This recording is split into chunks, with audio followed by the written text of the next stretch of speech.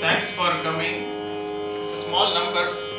We hope it will grow. We hope it, we hope it will grow. I think next time all, of, all the participants should bring at least 20 each. then you'll have a crowd. It's unfortunate actually. We used to have almost 80, 100 and all.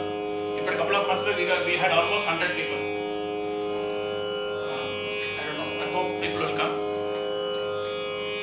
Thanks to Madhumitha.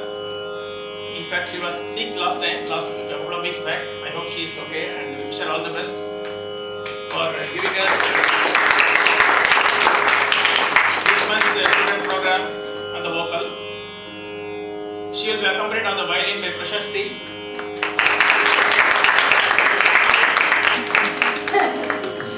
and on the Mridangam by the one and only girl who is learning Mridangam.